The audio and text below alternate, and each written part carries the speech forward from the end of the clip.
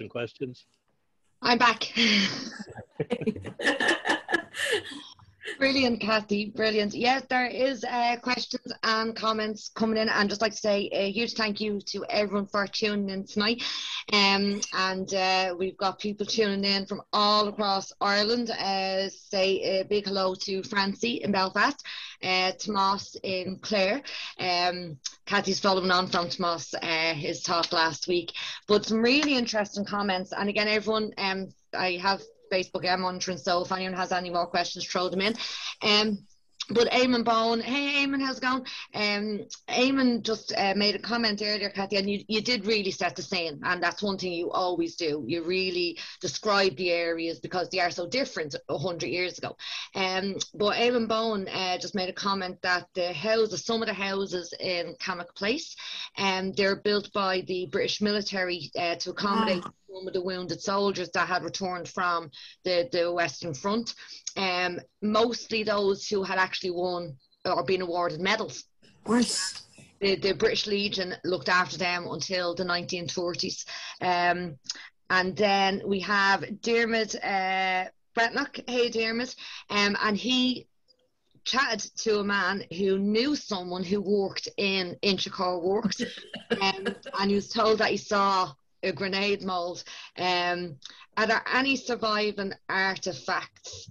Um, well, I know myself, there are surviving uh, grenade molds. Some of them are like just photographs of them. I know there are some from the country, Dermot. Um, Martin Bob O'Dwyer, I think, in his one of his Tipperary books, um, had one, and Pádraig O'Rourke in his book Revolution, uh, there's a photograph of the grenades that were made by the IRA, and and they had these foundries across the, the, the city as well. Yeah, yeah, they did. There's certainly one in Thomas Street. I know that for a fact.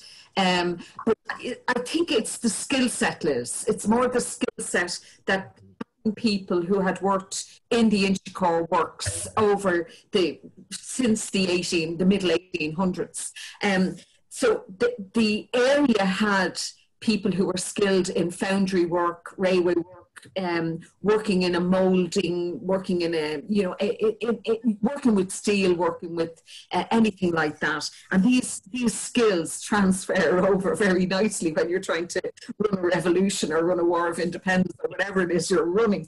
Um, and we made full use of it, quite obviously. Um, and certainly you would have had people from the Liberties working out in Inchicore. We, we get accounts of people, you know, getting to work, going up by the old canal, things like that. Um, so as I say, we, we drew on our strengths, we drew on what we had. And certainly they used fire as a weapon because at this stage, ammunition for guns is a problem. And it, it is a problem, it's an acknowledged problem um, for the, the IRA at this stage. Um, and you know even the source had dried up because after World War One, an awful lot of the returning soldiers dumped their arms in the direction of the IRA. But we're now in 1921. We we're, we're a good few years post World War One. That source had dried up too. And I suspect the British authorities were cottoning on to the fact that this had been an open source if you like, uh, for what was going on in Ireland. You know, your own your own munitions were returned back on you in, in, in many respects. So, you know, we, we played to our strengths, but there was foundries all over. Um, definitely, I know of one in Thomas Street. That that was key. Um, I suppose you like we always have a bit of revolution in the Thomas Street area. It was nothing new, um, but definitely Inchicore was hugely important, and it was stored all over the area. It wasn't kept in the works, so you have a variety of safe houses, arms dumps. I know there was one at Rialto there's another one in RD Street, but uh, I mean, there's a whole chunk of work to be done mapping all these things from all the witness statements. And um, I'm only scratching the surface myself. So if anybody wants to take on the mission, go ahead. And we'll find out where they all were, you know. I suppose, um, Kathy, just we have to give a special mention because um, a, a, woman um, that we both know um, who was mentioned by the, the, the, the 4th Battalion members and who had the sort of unique position of being being an honorary member mm. of the, the 4th Battalion is Nellie Bushell, whose house yeah. was just down the road from Inchicore Works, and, and she was vital to the storing of the ammunition and the, the yeah. uh, the equipment. Um, Kathy, that sort of ties in nicely to uh, a comment from Tola. Hi, Tola. Um, and he, he said that uh, that this attack on the Ballyfermot train, um, it's, it's a fascinating example of incendiary warfare. And this is what myself and me will be saying in the aftermath of Born in the Custom House. Um, the use um, of burning fabric, which was thrown by Joe McGuinness and petrol uh, thrown uh, by separately by another volunteer to set the roof um, of the carriage on fire presages the use of the incendiary by the IRA in, in later conflicts and then told again he's come across lots of examples um, of uh, preparation for attacks on railways um, and it really took a battering they really took a battering in the civil war possibly as a result of techniques in development at this time. Um, yeah. um, um, we do see that in the Civil War, and Inchicore Works has a role to play in that because the armoured trains then that were used by the National Army were were made in. made there. Yeah exactly exactly. Uh, uh, it's it's absolutely fascinating. I would have loved if we hadn't had the lockdown in the preparation of this whole thing. Can you imagine the fun i'd have had in the railway archives themselves? Um, uh, you know we were limited with what we could call on um, over the last year or so because so many of the places have been shut. But certainly every single aspect of it could be unpicked and teased. And there's a big question mark as well as to whether there were military casualties in this event. Um, it seems that a lot of it may have been conveniently pushed under the carpet because it didn't suit the narrative because the narrative now was one of peace. That afternoon, everything stops. So mm-hmm. the last action. We know the train is badly damaged. In fact, it continues on to Clondalkin and pulls in to discharge the, the most seriously injured, but it is eventually left in a siding in the Curragh.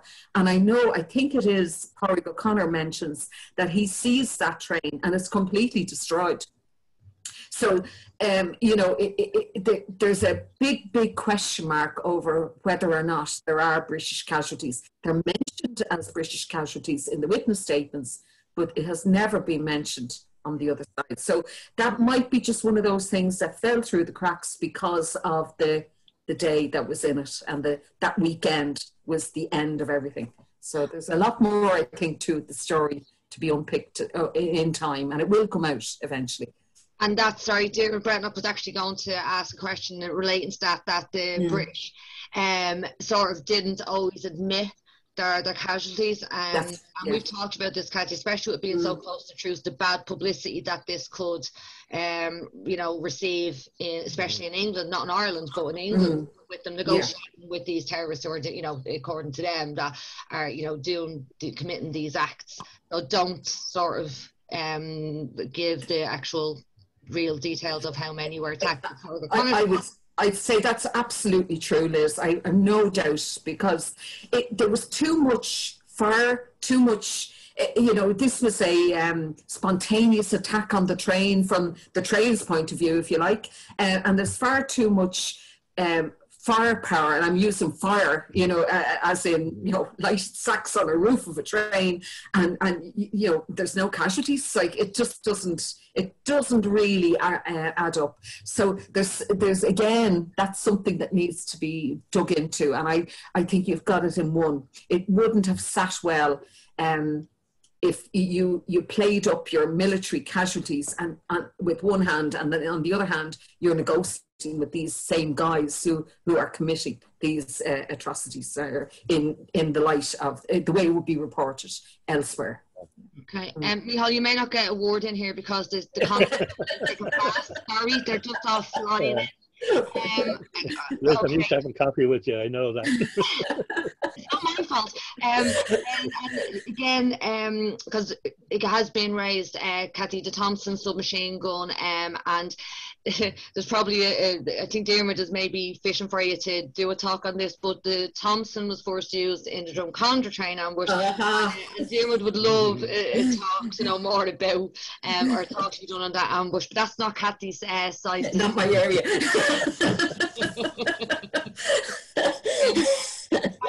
Oh God! Like people, oh, we've got Kieran and um and Christina tuning in from America. Fantastic Oh, talk. I'm just gonna just go through um Tomas Mac Conmara. Hey Tomas, um great illustration of how Ballyfermot was such a different place back in 1921 and how the echoes of those times lived on in the area. And that is one thing I can always say about Kathy. She will put you there and she will describe by detail every little detail of what the vicinity was like. Um, Tom Loftus, very informative. Thanks, Kathy. Uh, Willie Doyle Dunn, thank you. Uh, again, Tomas, great detail. Kathy enjoying this. Margaret Walsh in West Clare, um, tuning in every week. Absolutely brilliant. Thank you so much. Uh, Claire Watson, fascinating talk. Thank you. Uh, Kieran McMullen, great talk. Jerry McCarthy, Jerry, thank you so Ah.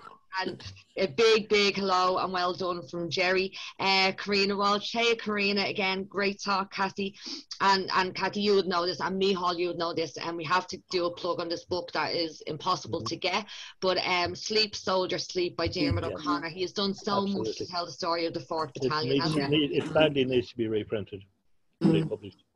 yeah. It definitely does. If anyone, I think, is available in the libraries. Um, I'm not It- sure. it- It is, but it's a bit of a battle too. if you excuse the pun, uh, it's it's hugely in demand, hugely in demand, and so the best way of, uh, I suppose, accessing that book is make friends with someone who has it. No, they will lend it to you. You're not getting mine.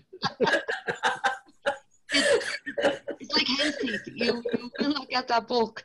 Uh, they'll probably stand over you while you read it. yes, like a reference library. You know, you, you, won't be let, now, you won't be let out of anyone's sight, but absolutely, uh, you know, it, it's almost like an untold story, though. They, I mean, the Fourth Battalion is much more important to the story than I, well, in my opinion, and maybe I am a bit partisan, but in my opinion, I feel that they're, um, they're not given credit for, you know, um, that, uh, and it's only when you start really digging into these individual incidents that you start to uh, really discover what is going on, you know, and uh, that's why every one of them, every single incident deserves to be forensically examined. And the only way we can do that is by looking at what's published, look at the newspapers, find the witness statements, look at the pension files, and try and piece it all together. And you get contradictions all the time. So then you have to make a calculated or educated guess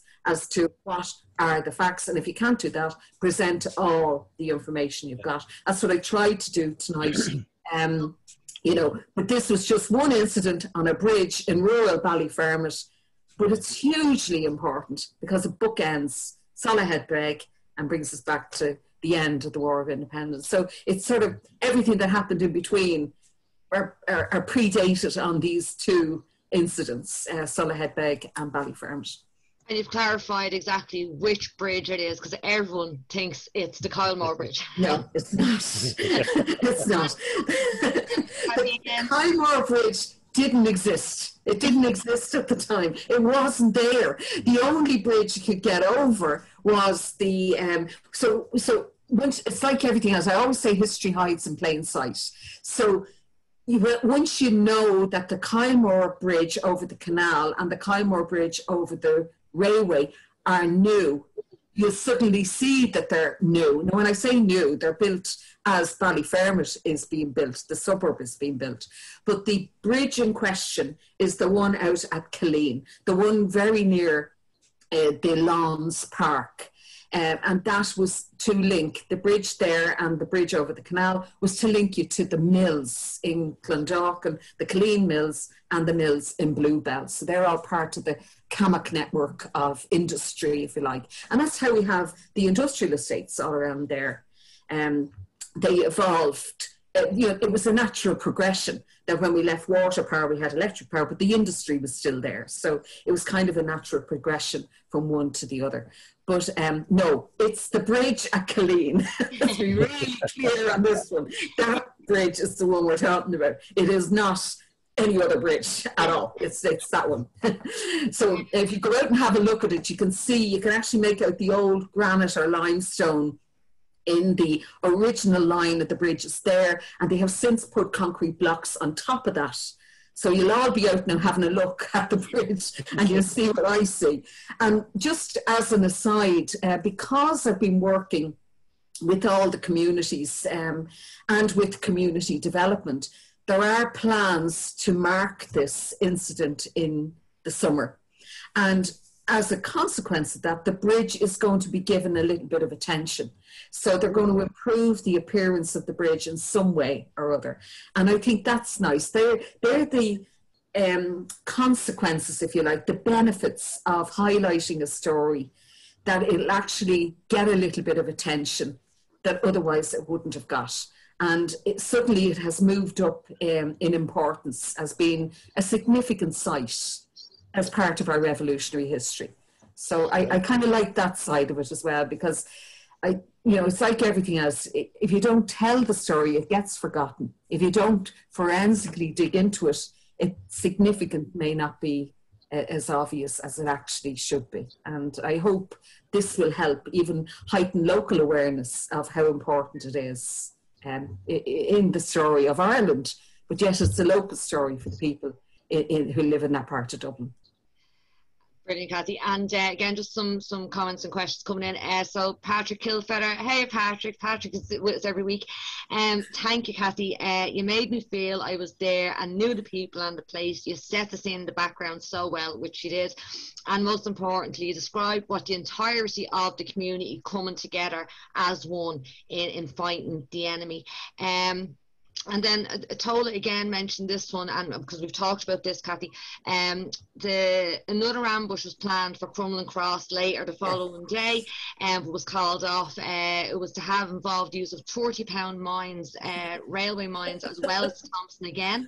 Yeah, uh, mentioned several statements. Great talk, by the way. Thanks. and actually, that, that Crumlin Cross would have been, uh, just to set the scene for people for that one, that would have been exactly where um, the Star Cinema used to be, you know, where Star Bingo is held now, or Our Lady's Hospital, just on the road there, because the road widened out um, at that point. One piece taking you into Crumlin Village and the other piece taking you out to Baldonnel. Again, it's uh, upsetting the infrastructure that was connected with the building of Baldonnel, because Baldonnel was becoming a significantly important barracks outside of Dublin and they would bring the workers out there daily under military escort. And it, it were just targets, you know.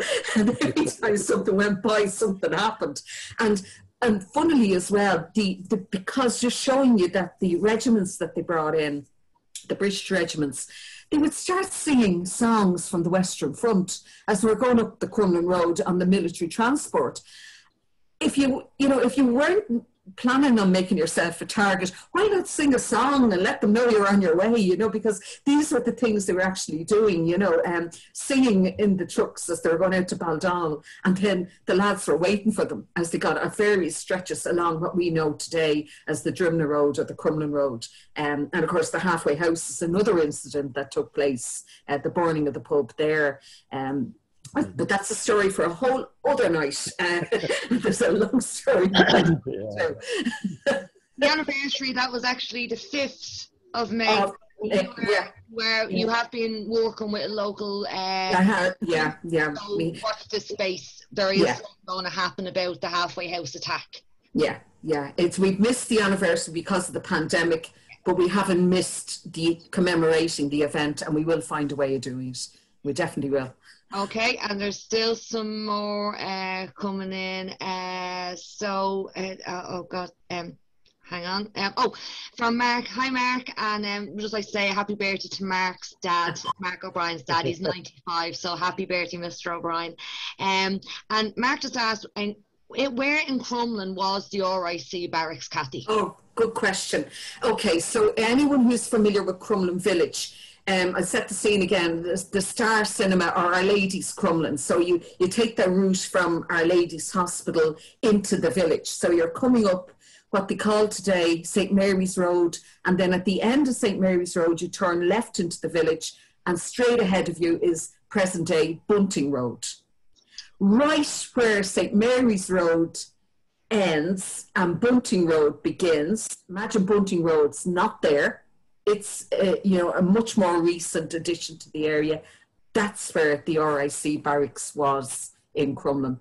Right, right as you came, just before you hit the village itself, the first thing you met, St. Mary's, the old church on your left hand side, and the RIC barracks right in front of you at, at that point. And of course, it's destroyed by fire by you know who. And uh, again, that's a whole other story. Um, but it, it, it, what I was trying to highlight was, you know, these local incidents were happening imagine the tension in the community at the time and how freely they moved. Um, it'd be kind of difficult for us today to get from Crumlin across to Inchicore. We'd have to kind of go the long way around and follow the main roads in their time, 100 years ago, it was used in country lanes and across fields and you know there were there were routes that could be used and they're kind of lost in our landscape today. So you, you you know you sort of have to go back in time look at the old maps and kind of work it out. So floods place on the floods would be roughly where mcdonald's is today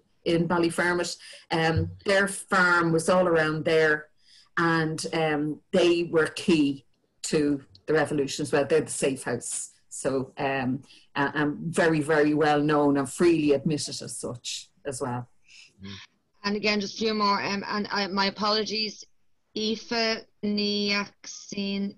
I'm sorry, Aoife. Sorry, Aoife um, did say Thank you, Kathy. Fantastic detail. Um, Kathy, just amazing. Claire uh, Watson, fascinating talk.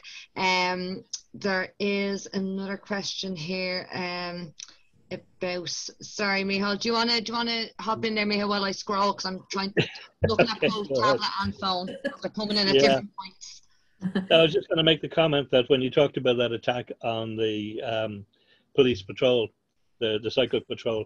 There was five five of them, and they were actually coming for they, they were on patrol from Lucan. Uh, well, what would now be the Garda station, the RIC station there. There was a big fuss made of that later because um, most of the men were actually Catholics. Uh, two of them were Irish speakers, and um, there was a big a big attempt to raise some sympathy for them uh, locally, but it didn't get very far. I think, mm-hmm. um, as things were they were seen for what you know for what they were and for the organization they represented. Yeah. Mm-hmm. Sorry, I am just scrolling down because yeah, uh, I just want to make sure I'm getting them all because yeah. there's there's something about the Thompson. Yeah. Um, sorry, I'm going to just. Well, I know Frank has a comment up on it. They were still yes. in use later in '69. yes, fancy they were still the Thompson were still in use in Belfast in '69. yeah. Again, a, an issue for another night. oh, you, you, yes, you get mm. a complete one out of that. Um, yeah, a particularly iconic weapon. Um, mm. But at, at, this stage, it, it, it, was a problem, problematic weapon. Where at the time of the ambush, the the, the bridge attack, it was they still hadn't got quite got to grips with it. Yeah. But the huge problem, of course, with that, more more so even than a handgun, was was, was lack, lack of ammunition first. Yeah. It used so much ammunition. Uh, mm-hmm. You know, you'd fire off, you know, as much ammunition as you could get in a couple of minutes. It'd be gone. I mean, the drum held hundred bullets, and uh, it'd be gone in no time if you weren't careful. So it's a very difficult weapon to control. It tended to, to move upwards as you fired it. Uh, so you know, aiming it at anything other than something like a train, where you know accuracy wasn't that important, you could do it. Mm. I, suppo- I, suppose, too, from the British point of view, it marks an escalation in the, mm. the ability of the IRA as well. Oh. You know, all of these things are significant in what happens next. Uh, they are pushes towards the, the, the truce. I mean, taking on a train full of with the 70 to 100 soldiers, horses, yeah. civilians, and this was free target, you know, um, and, a, and a machine gun being used in the process as well. That that that changes things completely. This isn't just blowing up a, a piece of a road and, and, and, a little checkpoint or anything like that. This is hugely different, you know. Yes, yes. Um, no, it is. I mean, it comes back indeed to the custom house. I mean, what De Valera had wanted there. He wanted mm. war, not not not skirmishes.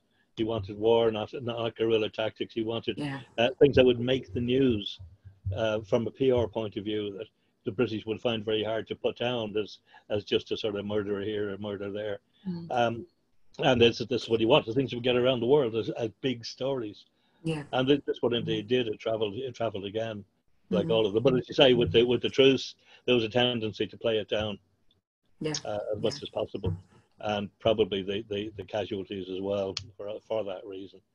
Mm. Um, but at some, some stage, hopefully, we, we will get the full figures on it and know who how many were, were hurt or, or killed in it. Yeah. They'll all Yeah. come out of it. Mm. And just to come back in, just on that, Mhm. Dermot O'Connor tunes in. Ah. yeah. Thank you so much for tuning in. Um, and he says Porrick um, got the list of casualties off the medical corps in the Curragh. So Yeah. Oh. There had to be more damage. As, he- as Porrick Yeah. explains it, the damage that was done. Um, thanks, Dermot. And Aoife again. Um, my great grandfather works in Inchicore Works. Is there any way to find out uh, who from the works was involved in the activity? oh, uh, it's, it's a great Yeah. question, and um, yeah, I, I don't blame don't blame her for being curious. Uh, I'm curious myself. Um, I, I don't. I think it's going to be the usual scrabble around, looking at what's been written. Not everybody left a witness statement. That's the Yeah. other issue. Um, so, but the pension files are very telling. Um, the, the, the pension files have been a bit of a revelation because you you get accounts, say, from parents or from um, you know uh, spouses uh, in them, which have been quite interesting to look at. I know a couple of the other incidents that I was looking at as well. A whole new complexion was put on the story by looking at the family ones. So I would just suggest that you know Irish records have turned us on.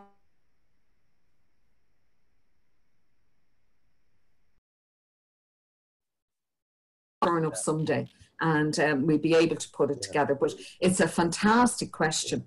Um, I, the, mil- I'm not sure about the railway records because genuinely I haven't seen them. Um, but I'm, I'm, I, I would pass that on to somebody else who might know more about it. Mihal, have you any ideas? No, I? I, just, I was just going to say that from what I've seen in terms of the witness statements and that, it seems like uh, the railway works a little bit like Guinness's. You know, if your father worked there, you could get a job there. Mm. Uh, so, you know, if you find one member of a family there, uh, have a look for another one. You'll probably find them in there younger as they go down.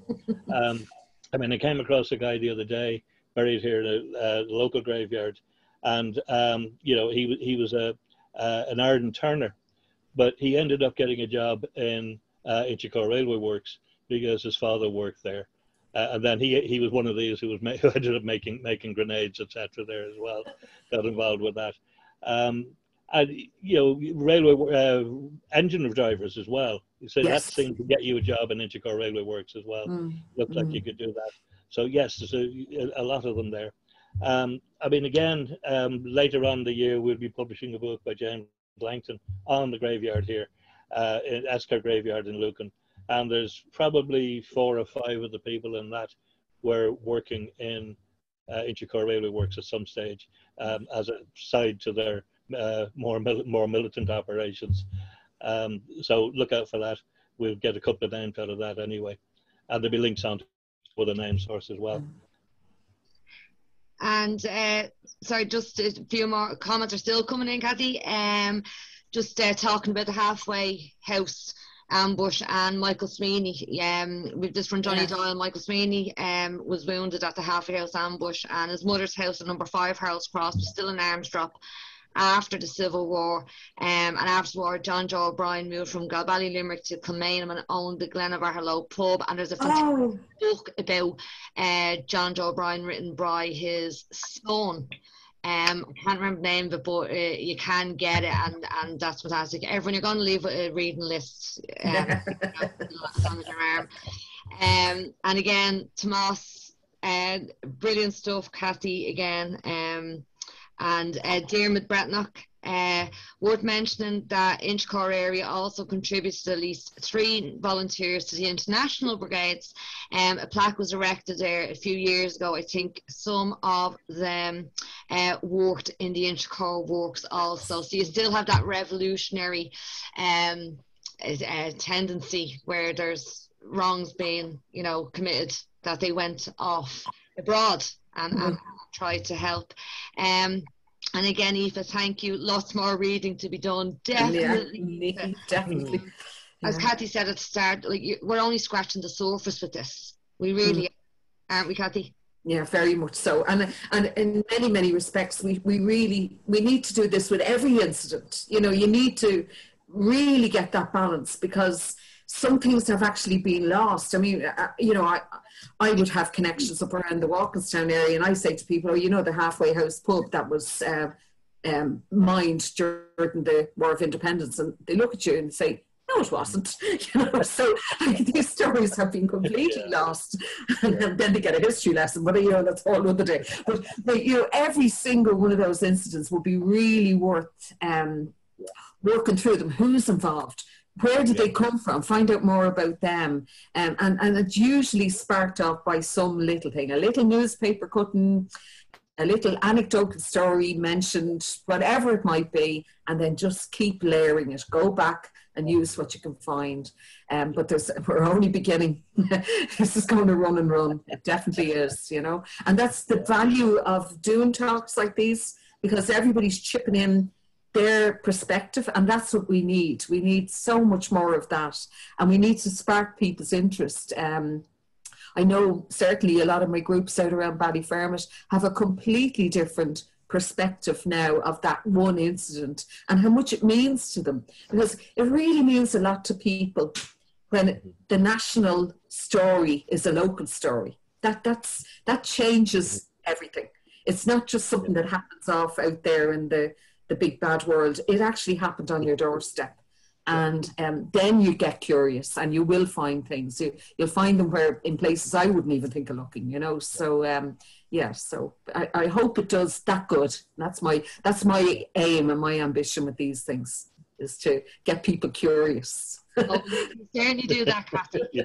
And, uh, and something always sparks from one of your talks. Something always is, is begins as a result of one of your Mm. talks, which is amazing. Um, and again, just more comments, Kathy, um, and questions. Um, Joseph Frayne, uh, brilliant as usual. Your speakers are first class, and I would totally agree. Um, and just a question, and probably Mihal, you might come in on this. Um, were the grenades for local use only or distribution throughout the country? oh, good question I'd imagine this is with, with right. Tipperary, they'd have having their own mold, their own factories that they would make them locally. No, Mm. the grenades were were, were sent out. Uh, were, um, Kieran McMullen actually touched on this. They were sent around the country, but they were filled in the country Okay. Oh. because you couldn't send a live grenade. You know, it was, you can imagine the problems that would happen there. I mean, you know, they, they weren't quite the safest things. But Mm. uh, around, in Dublin, no problem. You'd use them local, locally where they were made, but you sent them out, to go down the country. They would make their own uh, whatever to fill them with and fill them down there, and that was it. But they would be cast up here and sent away. Um, it. brilliant, Mihal. And um, Yeah. you mentioned Kieran, uh, Christina. Just Christina and Kieran are going to have some tour of Ireland when they come back. Um, because Christina said, excellent job explaining the wares in your talk, Kathy, especially for those of us who do not travel around except for twice a year.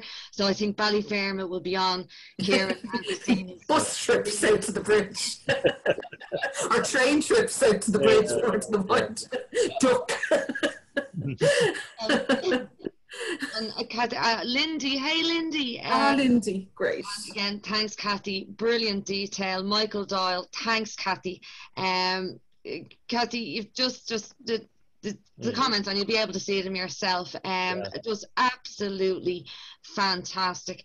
Um, Kathy, you did sort of touch on it in the talk, um, as in, and, and again, myself and Mihal and Laz will, will sort of talk about Yeah. this well, that the to target the IRA began to target the infrastructure, the supplies, and what was it that we discovered that um, the value of a horse was actually more than a soldier? soldier yeah um, Yeah. i think it was something like 120 pounds was the value of a donkey and um, the value of a soldier was probably something like 100 pounds Yeah. you know in in if they were doing a military calculation this is where it changes that the um, the IRA realize that if they target equipment um, materials, the the horse. Well, remember the horse is the key mode of transport. I mean, military lorries were probably flying around the place, all right, but that's Yeah. about it.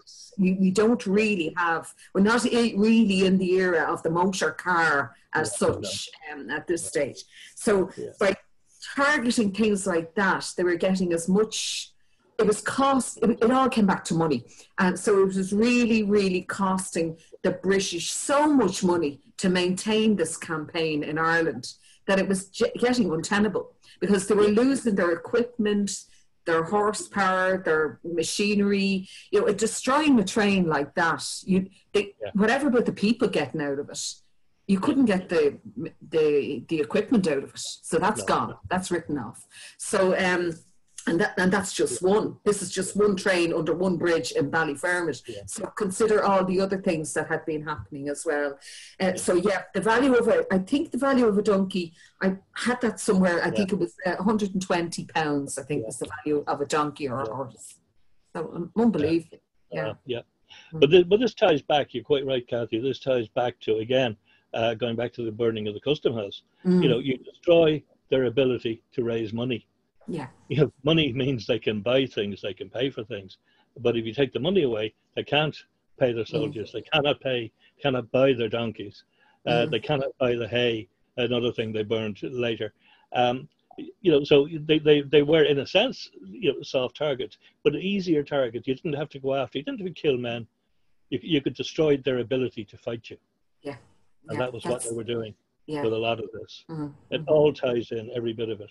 Mhm. You know, And- that's and why that- you need to see these things as, as a round. You know, not, yeah, that's it. You have to look. Yeah. That's what I mean about looking at each things forensically, because Yeah. you're absolutely right, Mihal. There's a number of accounts in the. You find um, you find them in the newspapers of people complaining about the fact that the hay was all being commandeered by the British military establishment in Dublin, and when they couldn't get enough in Dublin, they then uh, took the hay from Kildare, Meath, Louth, all, all the counties around Dublin, which meant you hadn't a chance of feeding your own horses. Um, Yeah. You know, um, and this was the only, well, it was the main mode of transport. So Yeah. it, it- even things as significant as that are hugely important. That interferes with your ability to work um, Yeah. as a, a civilian. So you're going to be angry with the military establishment. And then, of course, the British military establishment is trying to keep its own uh, books balanced here in Dublin. It, it's a fascinating uh, topic. Yeah. And it's all And part long- of the war. Yeah. it's long term too. If you cannot Mhm. feed feed your horses or your cattle, um, they're going to die, and that Yeah. means that next year, you You've know, nothing. twelve months time, you've nothing, and if you've nothing, the government is nothing. You know, Mm. it goes all the way down the line. So Mm. yes, it was a, it was a, a simple way, and in many ways, to to disable what was what we were fighting. Yeah.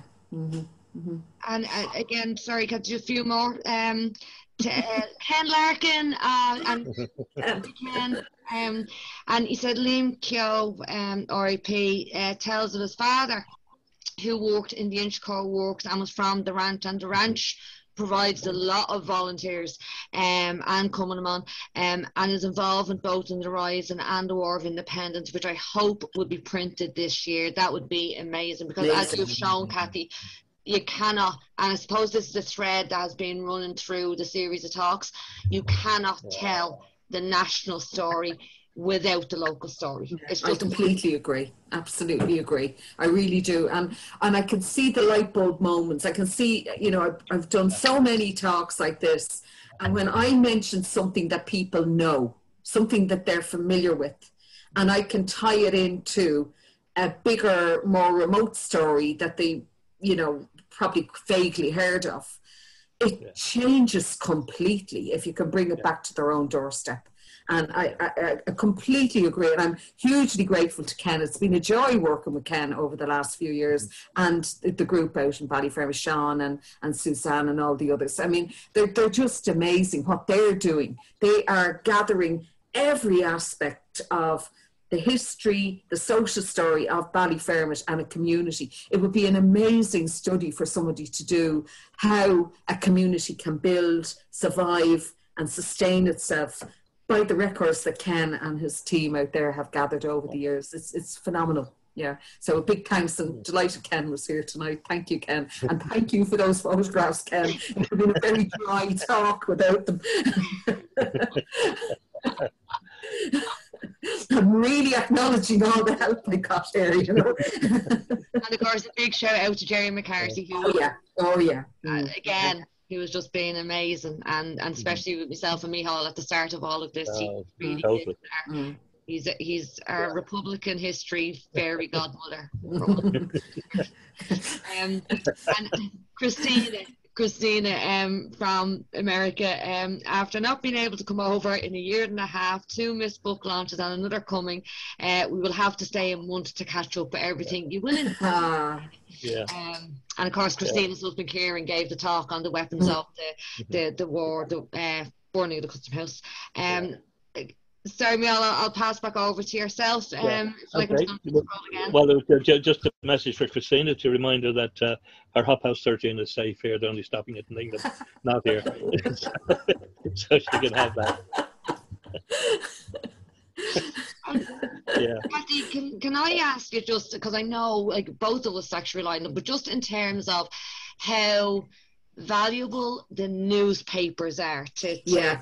Discovering these stories and what is not necessarily told in the witness statements or the pension files or something that may be mentioned very briefly in the witness mm. statements.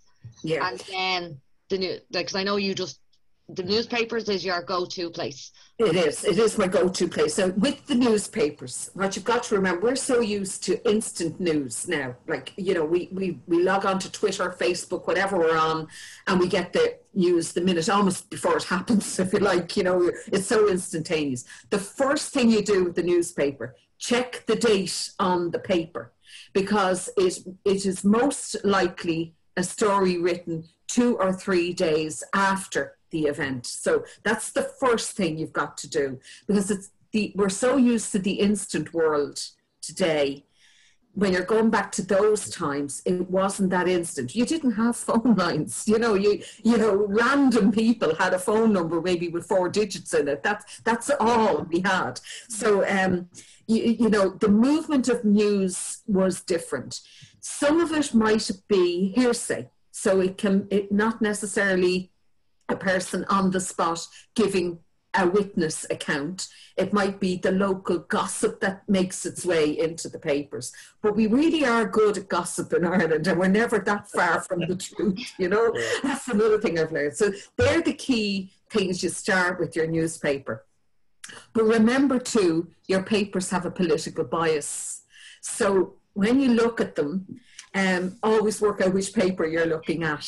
So a really descriptive paper from the time is the Freeman's Journal. They write them like they're writing an essay for their history projects. You know, eh, eh, it, it, the detail is unbelievable. You'll be you'll be told how, you know how many horses are on the cart and you know four hay ricks on the back and all this kind of the detail is phenomenal.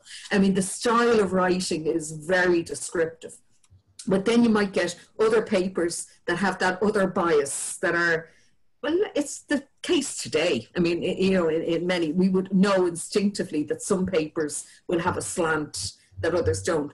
But that's what makes it all the better. If you put them all out in front of you, you are then getting the the different accounts. So I love to start with a newspaper cutting, no matter how small. No matter little headlines are the ones that really get me, and then I try and build the story behind that, and then you have your other sources. So your witness statements, again, don't forget they can be written what maybe 20, 30, some cases nearly 40 years after the event. Um, so bear in mind that bias as well, that type of, um, you know, what, what, fo- what sort of memory is it? You know, is it, uh, is it absolutely reliable? So you've got to balance all of them together. So that's why I presented it the way you did. Um, we're looking at the different newspaper accounts. We were looking at different witness statements. We're looking at different, uh, the way different things are reported. The other thing, and I'm discovering this more and more, the regional newspapers are amazing for finding things that happened in Dublin and that didn't necessarily uh, make it into the, the standard press in Dublin. And you find all sorts of, of, of, weird and wonderful things in the regional papers. And I think in some cases it's because Dublin had this rural hinter, hinterland. So it had more of connections with the rural communities than it necessarily had with the city. So I think you get that lovely clash of rural, urban. So uh, don't just stick with your traditional Irish Times, Independent, Freeman's Journal, whatever it might be. Go elsewhere and see what you can find in the other ones as well. And I, I know we both have found little gems in the, in the rural papers. So, uh, um, well, well worth having a look at. Well worth having a look at. But then I go to census records. Um, it's kind of a standard now, you know, that just okay, it's it's 10 years out at this stage. Like if we're looking at 1921, the most recent census we have available to us is 1911. But what it does show you is these communities didn't move around all that much. And if they did move, they literally moved from number one into number four or you know two roads away. They stayed in their communities. And I think it's what Michal was mentioning there as well the workplace. Um, you know, you worked in the Inchicore Works.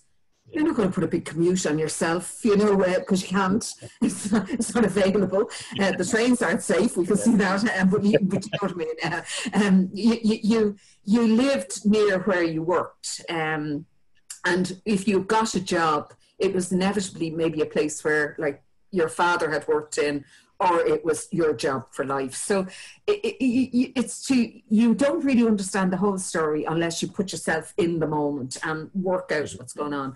So word of caution with the papers: look at the date it's publishing, and don't stop there because you will find more information um, in the subsequent weeks. Um, we had it with the Brunswick Street um, incident where we actually found a missing casualty because she died about a month later. Um, and, and, uh, ironically, it was a woman that was left out. So, um, you know, so keep going, you know, um, uh, keep going and go ahead and remember the times you're dealing with. So they, would be my little pieces, but definitely my newspapers. I usually start there and work backwards. so see how I get on. and and we always sort of do a plug um, with each talk. Uh, Irish newspaper archives, if anyone hasn't, mm-hmm. like it is available when the in the libraries when they are open for free.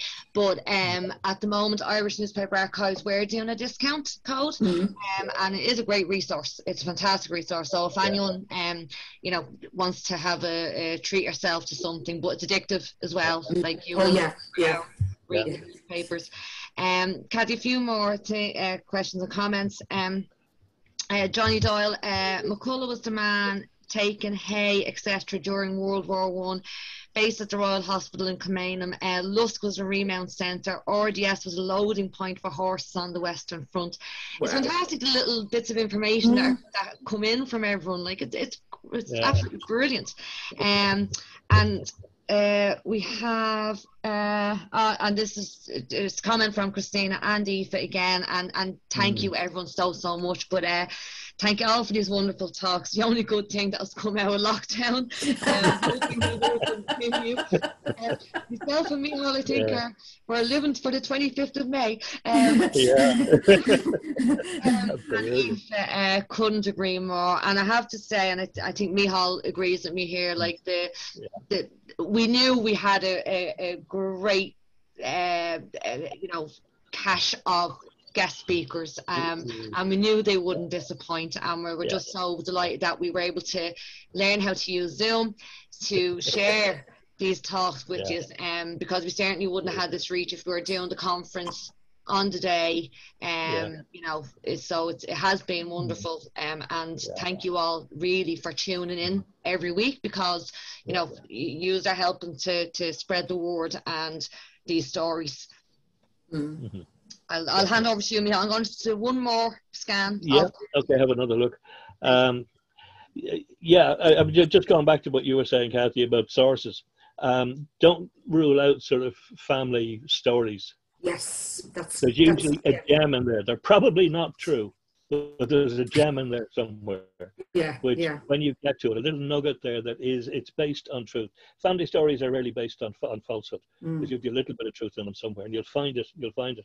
It's, it's another absolutely nothing to do with this, but I thought you're talking about hay and um, collected in in, in Kilmainham, just being collected in Kilmainham. Uh, it's a story I think I mentioned to you before, and I never gave you the information on. But George Dunn, the go- governor of Kilmainham, was done for stealing hay from Kilmainham. Was accused of stealing it. Uh, they used it as bedding for their prisoners, and he was taking it out to Ballyfermot to his farm out there for his animals. They used hay from the from from the cells, and he he was caught over that in later life. So there's a reverse situation going on there. Brilliant. Uh, yeah, You know, Yeah. hundred years earlier. yeah. The, the value of hay takes on a whole new meaning, you know. Yeah, Yeah, absolutely. Fascinating. Uh, It all goes there. Um, but yeah, I mean, you will find these. Um, uh, I mean, the, the newspapers are, are absolutely fabulous. But also, if you can get to look the foreign papers, Mm. you get you know, uh, there's every now and then you find the the, the uh, foreign archives, the particular American ones. But you go to um, Australia where you can get onto them for free down there. Um, uh, what's it, Trove, isn't it, the one down there? Um, but you can get onto their papers for free, and you will find Irish stories there, because there's such a huge Irish community in these places that Mm. they carry Irish stories, and they'll often carry them in depth. They carry interviews with people. They'll carry life stories down in, in, in their papers down there. So they're, they're, they're well worth looking at as well. It, you know, it's not just in, in Dublin or just in Ireland or wherever your event happened. Look around the world for it as well. And, uh, you know, it just means you never stop looking. I know.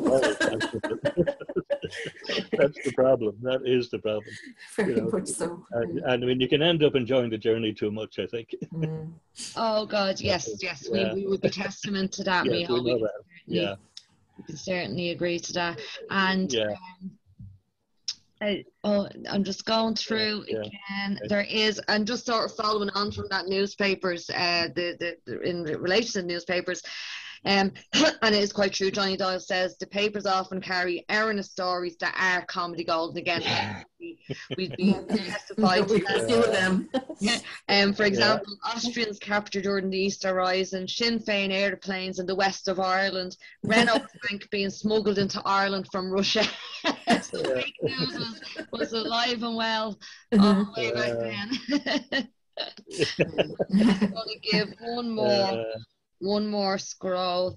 But um, Kathy, again, a resounding success, as Yeah. I knew it would be. But I suppose, and it, because probably people were thinking as well, why were we doing a talk on an event that happened six weeks after After. warning at the custom house? Mm. Um, and it does actually tie in, but t- tonight's date was significant because it is the 8th of May. The event happened on the 8th of July, and we thought that this would be a nice way to mark it. In, in so, Mm. 'cause this might be something that is missed, Kathy, in Yeah. the scenery.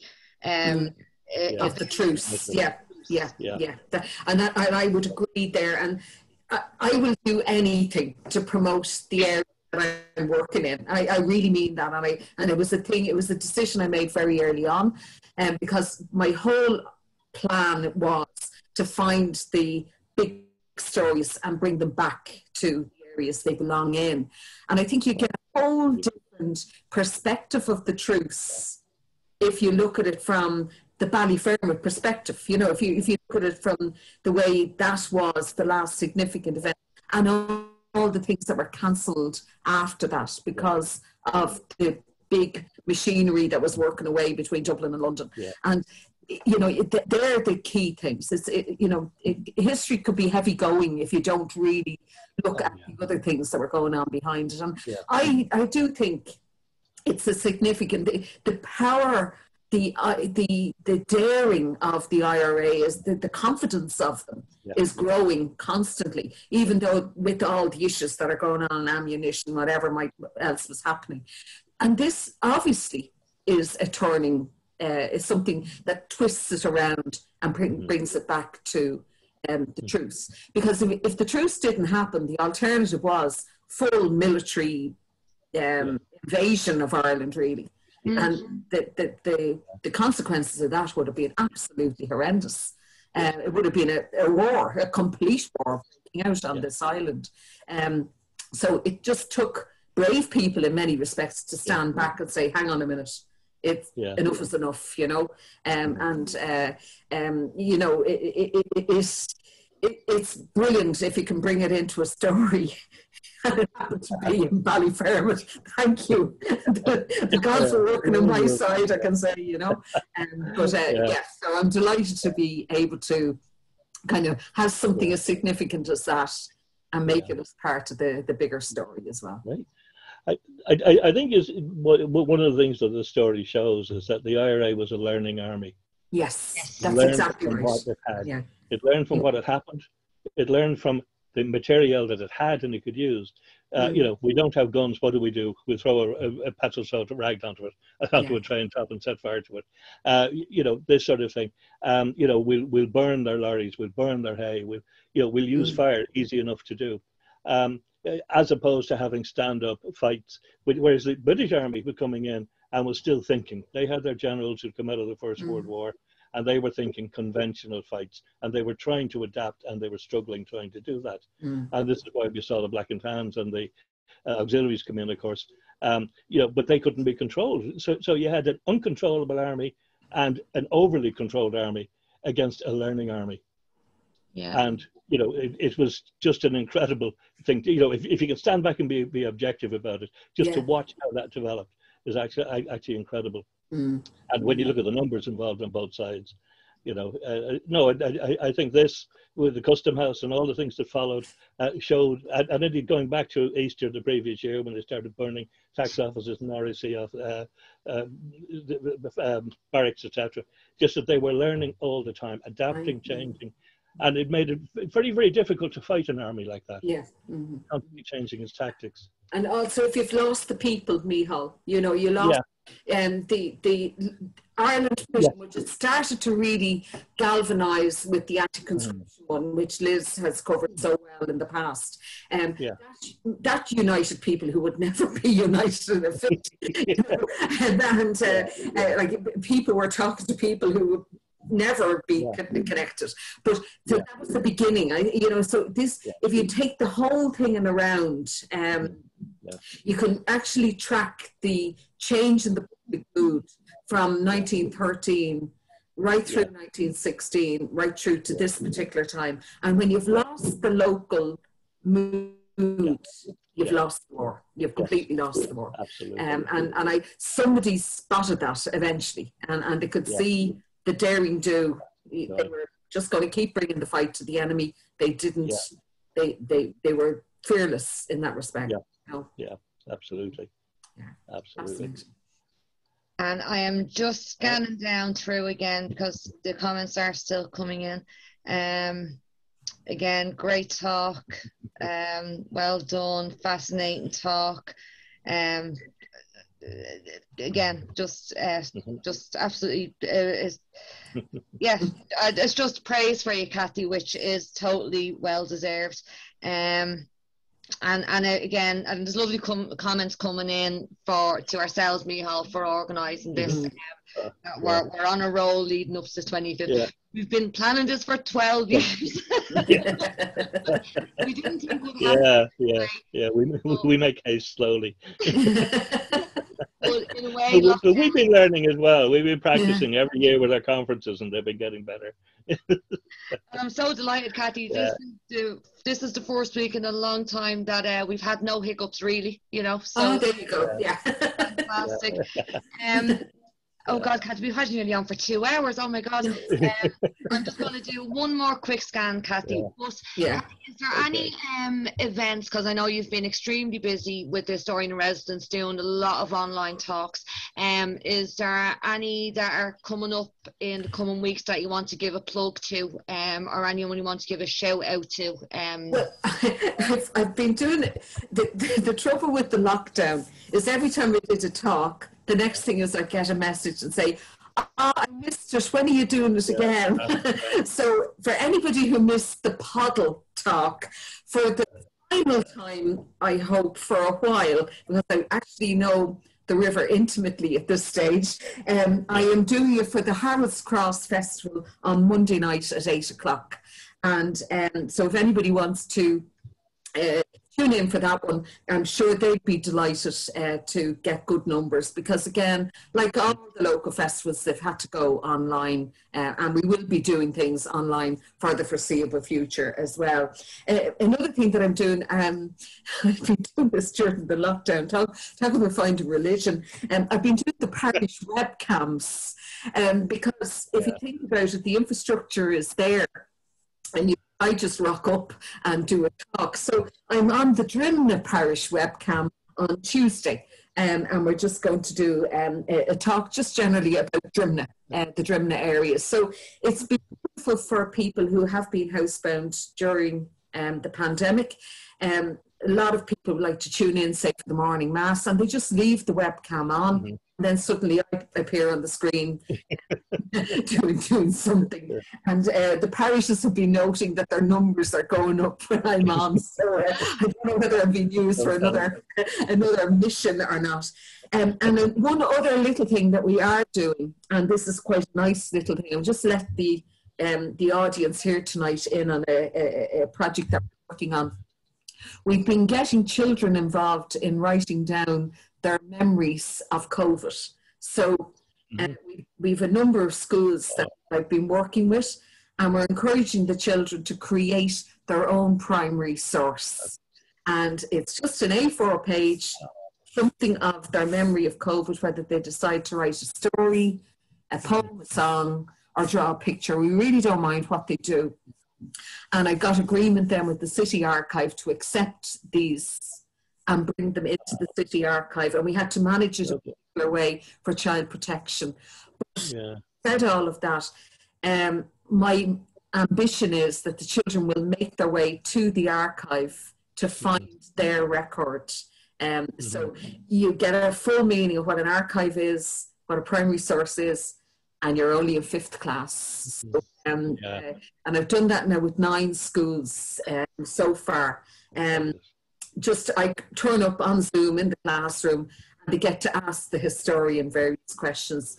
And um, key questions have been what's the difference between archaeology and an archive? I won't tell you the way archaeology was pronounced, but you got the general idea.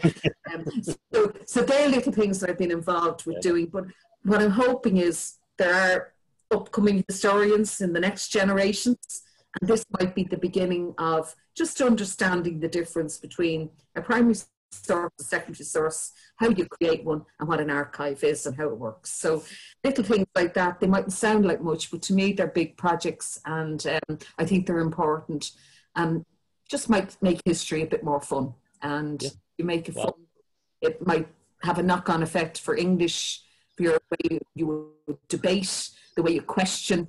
Um, and I must say, the children of our area are amazing. They have no inhibitions. They have no problems asking the historian anything.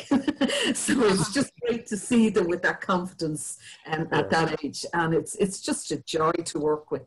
So that's the other little project that we have. We're hoping it will turn into a children's archive held in the city archive. So um, that again would be very useful for anyone studying childcare, studying to work yeah. with children, but also for the children's perspective of things as well, which often gets lost in yeah. the story industry. So yeah. yeah so oh, as, as we've discovered, Kathy, that the children's story is so important to. Oh yeah, it's huge, huge. Yeah, yeah. Yeah. Overlook them. Um, there's just a few more questions. Um, Diarmuid, um, is there a poster event for the Poddle Talk? Uh, Diarmuid wants to publish it um, on shared oh, sites. Uh, and Mark Jenkins, hey Mark, you came Thanks, Mark. Um, yeah. And thanks, Mark. I know you're busy. Um, if you look up Harold's Cross uh, Festival page, the details will be there. So everyone, Harold's Cross Festival page, and um, the details of Kathy's talk will be there. Um, and these are probably out of sync, these questions. Um, but uh, uh, Diarmuid said something about house to house fighting in cities. Uh, oh, that's obviously from yeah, the fake news. Um, yeah, house to house cities as the US in Puerto Rico, I think, yeah. and the Russians in Petrograd. And Mark Jenkins. Uh, you must check out the Australian newspapers. Thanks, Mihal. I'm obsessed with the archives. you know that, Mark. And Mark Jenkins, uh, if anyone, um, really, if you don't follow this page, you should. Um, Old oh, Ireland and Kathy Olden. What's what's Mark's page? Old. Uh, Old Ireland, isn't it? And yeah, yeah, yeah, yeah. I'll look it up. Um, but Mark's page is fantastic. Fantastic, If, you don't, um, Yeah. if you haven't started following that, and I'm going to look that up just before we, we do go. Um, just going to type in here, multitasking now. Old and new photos. Just let me double check. Oh, good. Have you got it there, Michal? Uh, no, I don't have them here. No. Okay. Um, I am connected. I haven't been following it all right, but uh, yeah, I will look that up um, just Yeah. before we finish. Um, or Mark, if you're on here, put up the name of your, your Facebook Yeah. page. Um, and he says uh, again, thanks to all involved to talk tonight. Have only been able to dip in uh, to the live post with Fabulous. All um, and of course you can catch up Mark on our YouTube channel. All Talks Go Up there, and Mark is related to uh, the Michael Sweeney that was mentioned earlier that took part in Mm. the halfway house attack. Yes, yeah, yeah. Um, and then Tola, again, just in relation to the incendiary warfare, uh, the IRA had at that time developed a functional, compact clockwork incendiary, and he's seen the original sketch plans. So, um, as you say, Michal, they were a learning army, they were Oh, adapting perfect. Oh, all the time. Um, Yeah. okay. for. Everyone, just hang on. For, if you want to talk there, Kathy, amongst yourselves, and me, I'm just going to look up Mark's page. That's great. That's absolutely great. I'll be Yeah, taking give me a breather, Kathy. a, taking a little break actually um, Yeah, yeah, over the next yeah. few weeks because now with the lockdown lifted, we just feel like I need to get out of the house for a little while and start exploring again. So uh, yeah, I think so. Yeah. Yeah. Well, what you should have been doing here was getting getting getting some room service in, though. You think you give cups of tea or coffee or something stronger, keep you going. You're, yeah, but I mean, look, I think all you've proved so far tonight is what I said at the beginning. Your enthusiasm, it's infectious, it's incredible, it's absolutely wonderful, and I think people like you are what we need here. We need them locally, and we need that to generate through to the, the national heroes, we uh, historians. They they get stuck. They just see a big picture. They can't see the detail. yeah. Um, you know, and if you don't see the people, I mean, Liz talked about the word archaeology earlier. You you did what it was called. I mean, archaeology is what you've got left when you take people out. Yeah. You Mm. know, and you need people to make history. Mm. And you know, you talk about them. Liz talks about them. I talk about them. Um, you know, so many other great local historians do this. Um, but at a, at a bigger, a higher level, there's, there's there's a cache of historians who don't see them, who don't come down to them. I just wish they would. They, Mm. You know, they they would be better historians for it. Mm. I think if they could do that. Anyway, that's my rant over. I, I found it and I, I put it up there. So uh, I Yeah, you get it. for Mark. Um, and I, again, Michal, like we um, we are Yeah. the, the prime examples of this. Of you Yeah. know, li- just listening to, just reaching out and seeing, you know, what is out there. And thankfully, the people have responded to us Mhm. because we certainly could, would not be telling the stories that we are telling today without the the the, pe- the people um who Yeah. know an awful lot more than the academics in a lot of cases. Mm. Um, us, um, enough said there. Um, okay, I think that is all the questions, Kathy. Oh my God, you, you're needing a strong drink after this. Uh, Um, I'm just going to do um, a plug for next week's talk. So I'm going to share my screen and see if Mm. this works. Uh, let me see. No, I'm at losing this. Uh, okay. Can I share mine? Yeah, have you have you got it there, Michal? Yeah, if I'm up to share. Um, there it goes. Um, oh, sorry. What I'm just Uh, sharing here is, is our one for the, um, if you can see Oh. that, where you can get all these talks back. Okay. Brilliant. tinyurl.com, May 25 burning. Okay, and now I'm going to share my screen. I have it Okay. here, Michal. Yeah, okay, you got it. I got it there, yeah. And so everyone following on from uh, Kathy's talk, I'm delighted um, to announce that Joe Mooney of the East Wall History Group is going to give us um, do a talk for us next week. Now, this Joe is, is amazing. If any of you um, have not seen the film that was made, a documentary made by the East Wall History Group, um, it's the uh, Peace and War in a Docklands Hotel, and it's about the attack on the LNWR Hotel on North Wall, which has a direct link to the Custom House. Joe um, is originally from Crumlin, but um, Joe lives in East Wall um, and him and Hugo McGuinness do amazing work down there. Um, so Joe, he's going to do the talk for us next week, and the talk is called, and I just have to move this out of the way so I can get the full title.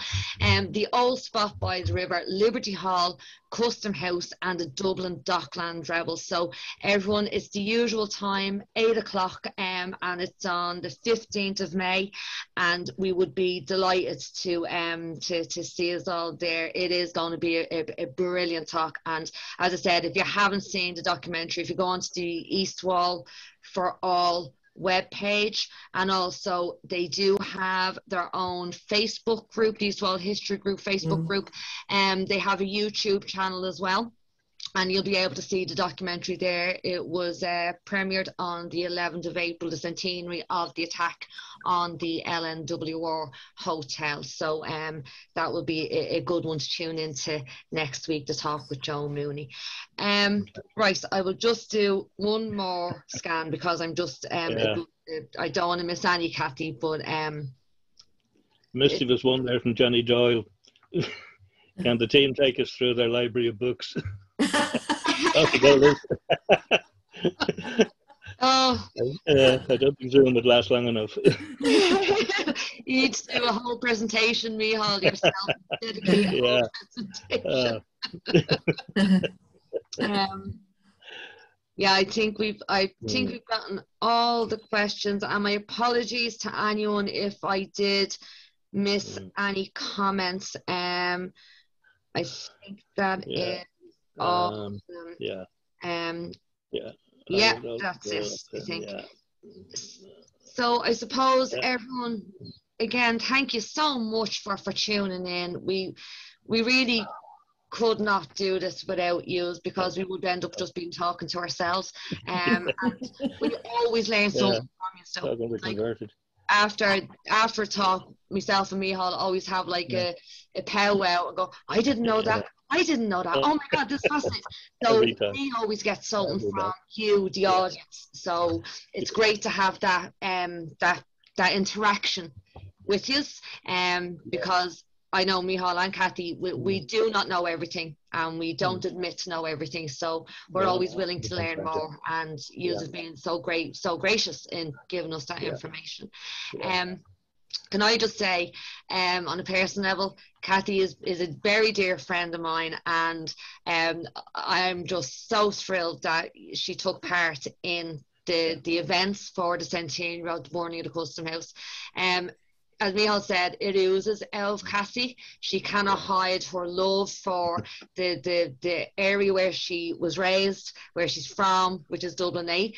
And um, if you didn't know that before tonight, um, Kathy is a bit biased about the 4th Battalion area because it is her stomping ground. Um, a bit like myself. Kathy, you have done a wonderful, wonderful talk Yeah. for us. Um, and you really highlighted how a local community story is central um, and just as important to the national story um, that involves the big names. We would have nothing without the ordinary men and women who took part and who played that role and support role, the people we don't know about in Inchicore Mm. Works.